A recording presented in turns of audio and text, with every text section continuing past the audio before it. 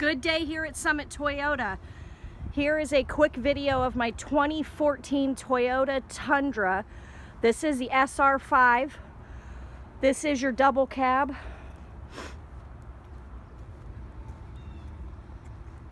Does have the tow as well as the backup camera.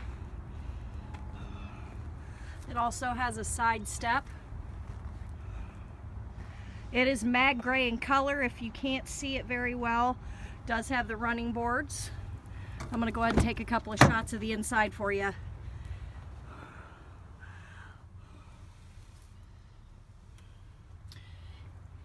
Odometer is sitting right at 21.